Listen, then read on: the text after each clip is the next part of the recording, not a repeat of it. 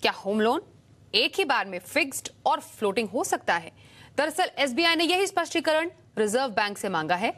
दरअसल, एसबीआई एक ऐसा प्रोडक्ट लाना चाहता है जिससे वो ग्राहक जो फिक्स्ड रेट पर होम लोन लेना चाहते हैं, उन्हें भी ऑफ़र किया जा सके। और बाद में जाकर यही होम लोन फ्लोटिंग में तब्दील हो जाए। ये इस तरह का अनोखा, इकलौता होम लोन प्रोडक्ट होगा।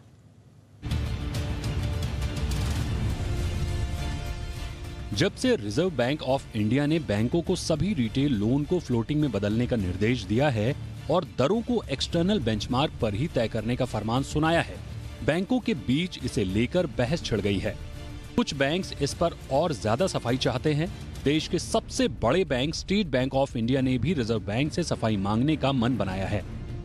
दरअसल स्टेट बैंक ऑफ़ इंडिया एक ऐसा long term home loan product लाना चाहता है जो शुरुआत में फिक्स्ड इंटरेस्ट रेट वाला हो और बाद में फ्लोटिंग इंटरेस्ट रेट्स में तब्दील हो जाए। एसबीआई इसके लिए आरबीआई से सफ़ाई मांगेगा। एसबीआई के चेयरमैन रजनीश कुमार का कहना है कि बैंक फिक्स्ड रेट वाले लोन प्रोडक्ट को फ्लोटिंग रेट्स पर कैसे शिफ्ट कर सकते हैं? क्योंकि कुछ घर खरीदार अपने लोन रेट्स फिक्स्ड रखना भी चाहते हैं। ऐसे खरीदारों के लिए बैंक फिक्स्ड फ्लोटिंग प्रोडक्ट की पेशकश कर सकता है, जहाँ ब्याज दर शुरुआती पाँच या दस सालों के लिए फिक्स्ड रहे और उसके बाद फ्लोटिंग हो जाए। एसबीआई में floating rate home loan MCLR से लिंक्ड है। बैंक ने हाल ही में रेपो रेट से लिंक्ड होम लोन प्रोडक्ट भी लॉन्च किया है। एसबीआई में कोई भी fix rate home loan product नहीं है। अभी एमसीएलआर के तहत फ्लोटिंग रेट्स लोन ब्याज दर के उतार चढ़ाव के हिसाब से रीसेट होते हैं, लेकिन फिक्स्ड रेट लोन 9 से 12 महीने में रीसेट होते हैं।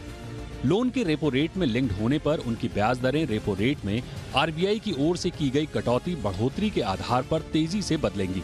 चीज़ें गिरवी रख लोन लेने वाले कई कर्जदार आमतौर पर फिक्स रेट चुनते हैं।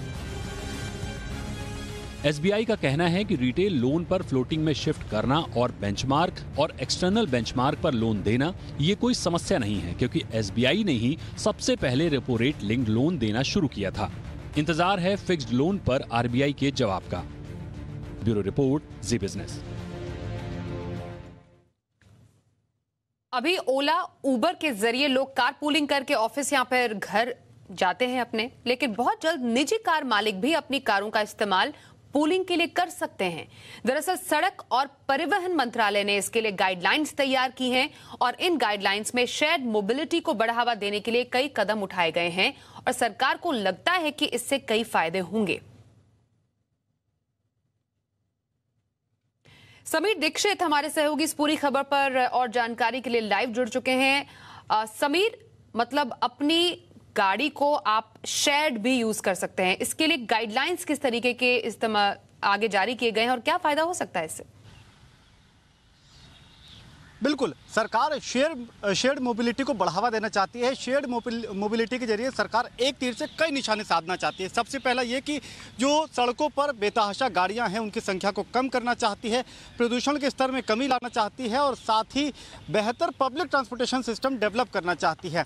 उस दिशा में सरकार ने कदम ये बढ़ाते हुए किया कि अब ओला, उबर की तरह प्राइवेट जिनकी गाड़ियाँ हैं, निजी कार चालक भी, अब वो कार पुलिंग कर सकते हैं, यानी कि वो भी ओला उबर की ही तरह एक मोबाइल ऐप के ज़रिए कार पुलिंग कर सकते हैं।